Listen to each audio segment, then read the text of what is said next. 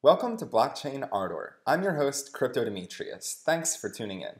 This is a series funded by Jelurida dedicated to tours and tutorials of the applications and functionalities available on the world's first solar-powered multi-chain ecosystem, Ardor. In this installment, we'll be taking a tour through the client wallet and getting a general sense of the features that are built in to the Ardor parent chain and the Ignis child chain.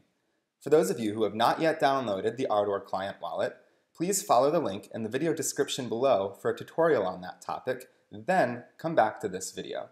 Let's start the tour. Open up your desktop client and log into the Ardor chain. We land on the dashboard. If this is your first time accessing your Ardor account through the client wallet, you'll likely see eight blue boxes on the dashboard and a message at the top to validate a public key. Normally, we only see two blue boxes on the Ardor dashboard, but we must complete the validation of the public key first you should click the green button in the message bar, enter your passphrase, and copy the newly displayed public key. Once you're ready to make your transfer of funds to your Ardor wallet for the first time, it's essential you include your public key in that transaction. This will literally change the interface you see in the client. Now that your account is verified, we see two blue boxes on the Ardor dashboard, your account balance and the most recent block information. Your recent transactions in the Ardor chain are listed below. Looking at the very top of the screen, you'll see the button to send Ardor. The next circular symbol is a shortcut to your unconfirmed transactions. Notifications are represented by numbers displayed in the blue and gray circles here. The next few symbols are straightforward. The symbol of a person is a contact book, the gears are a shortcut to your settings, the question mark takes you to guidance documentation, the tree chart takes you to the web wallet, and the power button logs you out. Let's look at the left side of the screen. We see our public address, the current Ardor balance, and the blockchain we're currently on. Remember, child chains are their own blockchains. They are simply secured by Ardor. So if you want to use the functions of a child chain or see balances on a child chain, you must click this drop-down and navigate to that specific chain. For example, we see that Ignis has far more functions built in, and there are multiple balances on the dashboard. We'll cover these features later in the video. Let's navigate back to the Ardor chain. The next box allows you to search for specific accounts, transactions, or assets on the blockchain. So, overall, the dashboard provides information around your transaction history, account balance, and approval models. We'll cover approval models in a later episode. The final major function on the Ardor chain is the coin exchange. But before we get to that, Let's focus on the main dashboard for another minute. Click on the More Info button under your account balance, and let's discuss some key terms. Your Ardor coins have two values. There's the actual coin itself, and the power of the coin to secure the network through forging. That first value of the coin, the coin itself, is represented by these first three balances. Balance, available balance, guaranteed balance. The only difference between these three is that the guaranteed balance updates every 1,440 confirmations, or approximately every 24 hours. The second value of your coins, the securing power of them, is represented by the effective balance and forged balance. Both of these take 1,440 confirmations to update. The important thing to understand is that your available balance represents your current spending power at a given moment. Your effective balance can be zero for a variety of reasons, such as leasing your balance to a forging pool, but you always retain spending power and control of your coins based on available balance. A separate video is forthcoming on leasing your funds, but there is an existing demo of forging included in the video description below. Now, let's take a look at the built-in decentralized coin exchange. Here, you can begin trading between Ardor and its three current child chains, AEUR, the 100% pegged euro coin through Ardor Gate, BitSwift, an extensive technology store and service provider, and Ignis, the first child chain and smart transaction powerhouse. An important note about Ardor is the fact that all of its child chains are interoperable, meaning you can trade directly from one to the other without needing to convert to Ardor or any other intermediary token. Another point here, when you're on the Ardor chain and you enter the coin exchange, you can buy Ignis using Ardor. You can buy pegged euros using Ardor.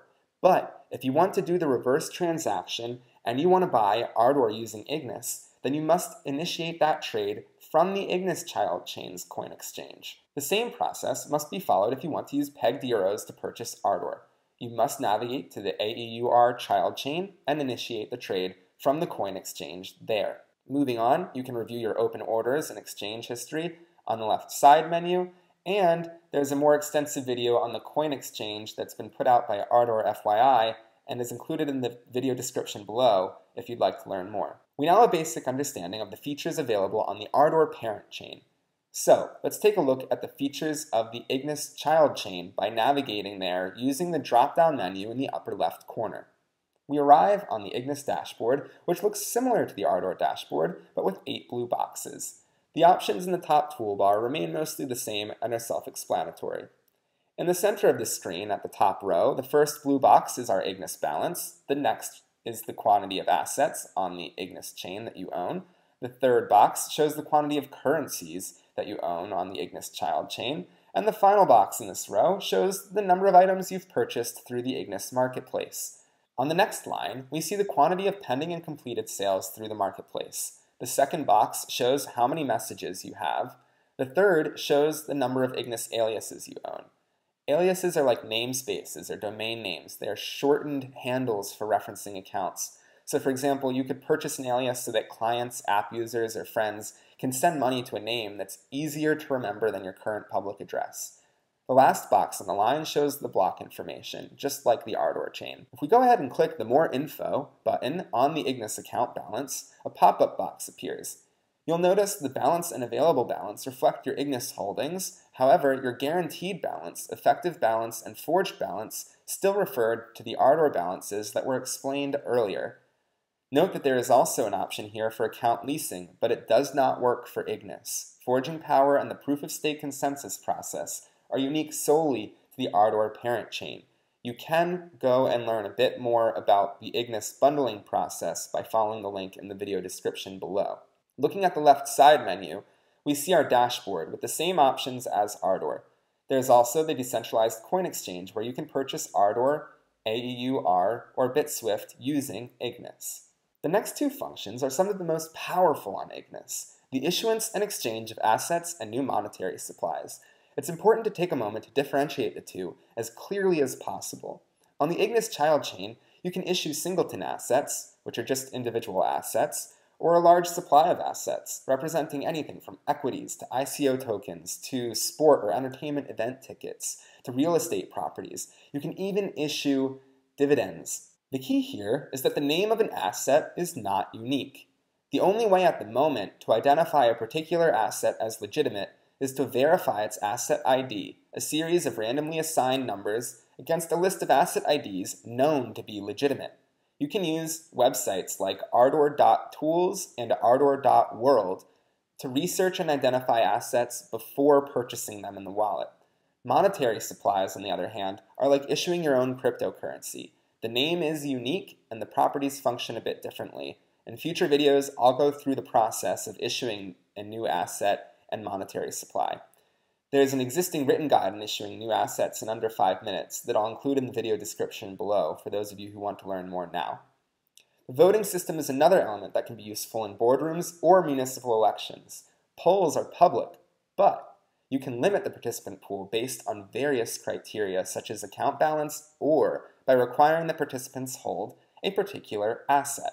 So you could issue an asset only to your intended voters, set up a poll that only allows people holding that asset to vote, and then continue on with the voting, effectively limiting the participant pool while maintaining a secure public record of the vote. The data cloud allows you to upload files to the blockchain and receive a hashed version of the file as a sort of proof of existence. The documents themselves are pruned or removed from the blockchain, leaving just the hash. This minimizes the blockchain size while allowing you to reference the hash on your document against the remaining hash on the blockchain to prove authenticity at a later date. This could have major implications for the copyright industry, insurance industries, and for cloud services. The marketplace is like a Craigslist environment where you can purchase and sell all types of goods. It was originally meant for digital goods, like software registration codes, but it's grown to include some physical items as well. Due to the nature of immutability on the blockchain, fraudulent and inappropriate listings cannot be prevented. There is also no way to reverse a transaction if a seller fails to send a product to the buyer. This doesn't appear to be one of the most pressing uses for the blockchain at the moment, but it remains a cool tool on the Ardor blockchain within the Ignis child chain. Shuffling is synonymous with private transactions. It's pretty straightforward, but could have big implications when it comes to combining this with other features like voting to protect identities. Secure and arbitrary messaging are both pretty straightforward as well on the surface, but the potential goes beyond what we see here. There have been suggestions to use this feature to create decentralized applications and more complex distributed data storage systems since you can use this feature to send JSON files across the blockchain. Aliases. This is where you can purchase your shortened account name to make it easier for app users or friends to send you or your business funds. You can also buy up aliases across other child chains. It's like the .net and .com domains, at BitSwift, at Ignis, at AEUR. So if you think your business or other businesses will function across multiple child chains, you can purchase up multiple aliases. In review, the Ardor and Ignis client wallet is jam-packed with features. In the coming weeks, I'll walk through some of these features, as well as some that were not discussed at all today. Until then, hit the subscribe and like buttons below to stay up to date with the latest postings, and feel free to leave any questions or feedback in the comments section below. Thanks for tuning in to this episode of Blockchain Ardor.